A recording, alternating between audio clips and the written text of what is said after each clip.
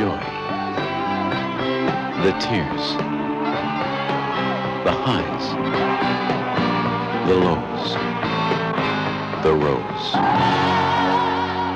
the heart, the soul, the rock and roll, the loneliness, the rose,